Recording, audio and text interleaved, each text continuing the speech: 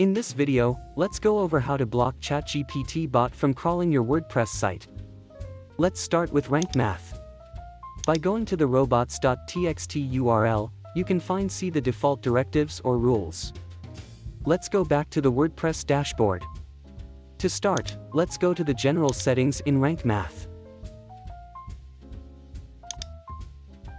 Click on the Edit Robots.txt tab. It will show you the editor where you can add your rules. Before adding a new rule to block ChatGPT bot, copy the default rules and paste them into the editor.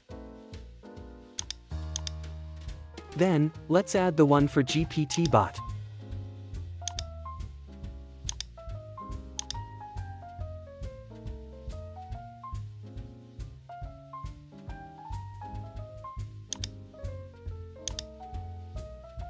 Once done, hit Save Changes.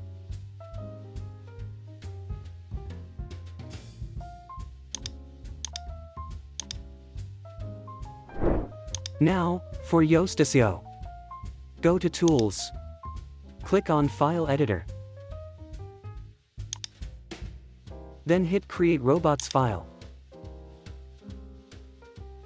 This will show the default rules. For this example, let's copy the one we created earlier.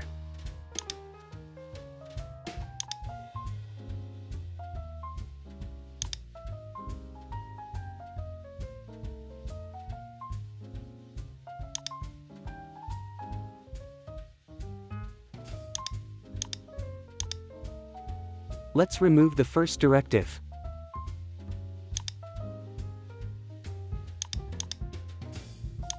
Suppose you want to manually create and add the robots TXT file without using these plugins.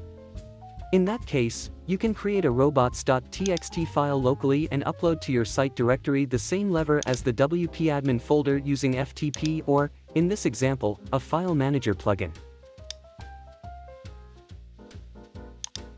Thank you for watching.